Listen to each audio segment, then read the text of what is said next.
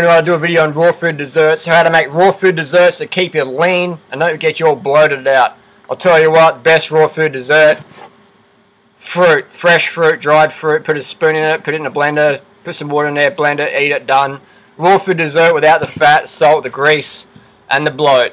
Keeps you lean, mean, healthy, and clean. Because that can be the problem with a lot of these raw food desserts. Too much nuts, man. Too much nuts. And people eat this stuff. They're like, wow, I mean, it's, it's organic and it's vegan, but it's so high in fat, and it's usually so high in salt, and lots of oil in there, and refined sugar like agave. And now I'm not against refined sugar as such, but I'm definitely a pro-fruit advocate. But if you're going to have refined sugar, don't have it with lots of fat like oil and cashews and macadamia nuts and macadamia butter and almond butter and dried but starches, all that fat, all that grease. Limit your fat intake to a handful of nuts a week.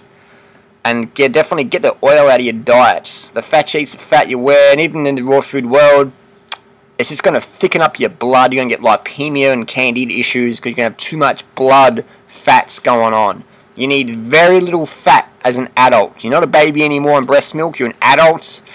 You need very little fat.